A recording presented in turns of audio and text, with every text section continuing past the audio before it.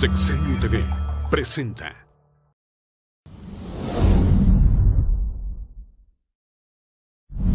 El mes de junio y julio, lamentablemente, muchas viviendas fueron afectadas a causa de las intensas lluvias que cayeron en Puebla. Junto a mi sistema municipal DIF, visitamos a las familias de diversas colonias inundadas de nuestra capital. Fui testigo de las grandes pérdidas significativas que sufrieron en esos hogares, muebles, electrodomésticos y documentos.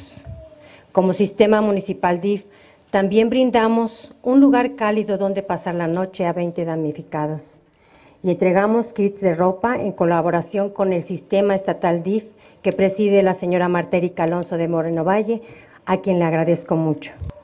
Sepan que esta es la segunda ocasión en que Sindicatura hace equipo con el sistema municipal DIF.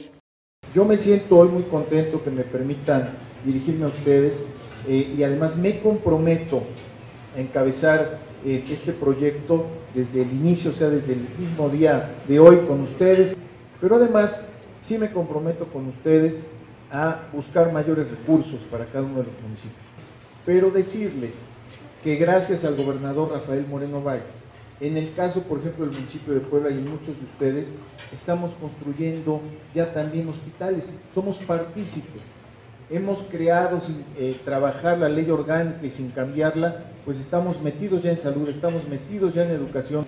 Eh, ahora en Puebla estamos construyendo eh, tres CESAS, tres centros de salud ampliado, dos unidades médicas también de salud, donde el municipio pone el predio, básicamente son programas de cuatro pesos a uno.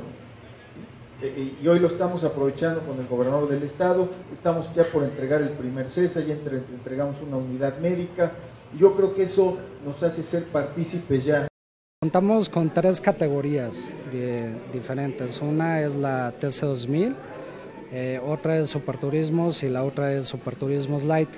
la TC2000 es una carrera de 70 minutos, Superturismos y Superturismos Light son dos hits, entonces estamos teniendo cinco carreras por día, que es este un atractivo para el público. Todo está en 60 pesos, eh, los niños van a poder entrar gratis y también va a estar a la venta el Pit Pass. El Pit Pass es para que puedan entrar a la zona de pits.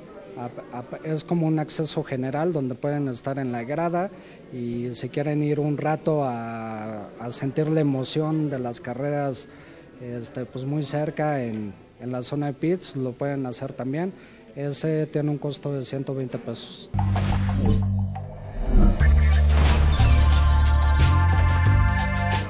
Sexenio TV presentó